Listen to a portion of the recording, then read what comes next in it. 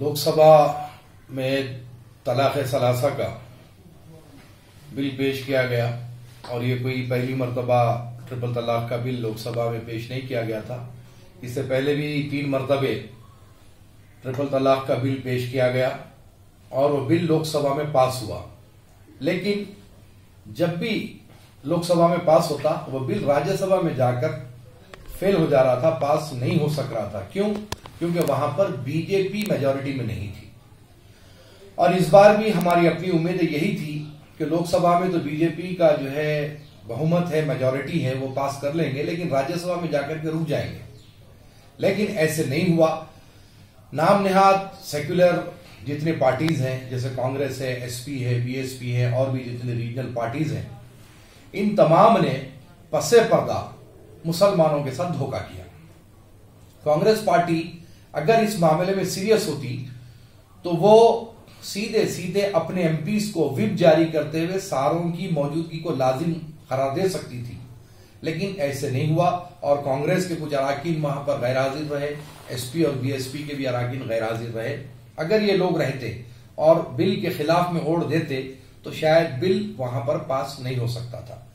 اور پھر دوسرے ٹی آر ایس اور جیسے کہ آپ کے اے آئی اے ڈی ایم کے یہ حضرات جو ہے وہاں سے واک آؤٹ کریں، جس کی طرف سے یہ بل پاس ہوا۔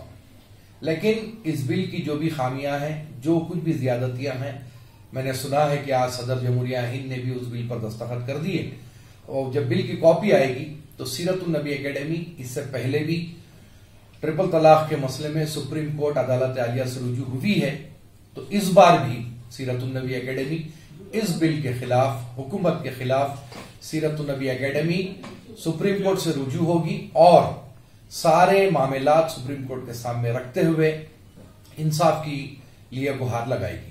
یہ ہمارا اپنا سٹینڈ ہے اور میں بالخصوص سارے مسلمانوں سے مخاطب ہوں۔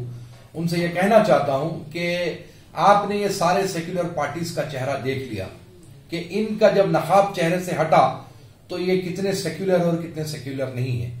جہاں تک کہ مسلمانوں کے ساتھ اب تک کی جتنی بھی ناانصافیاں ہوئی ہیں، مسلمان سہتا آیا ہے۔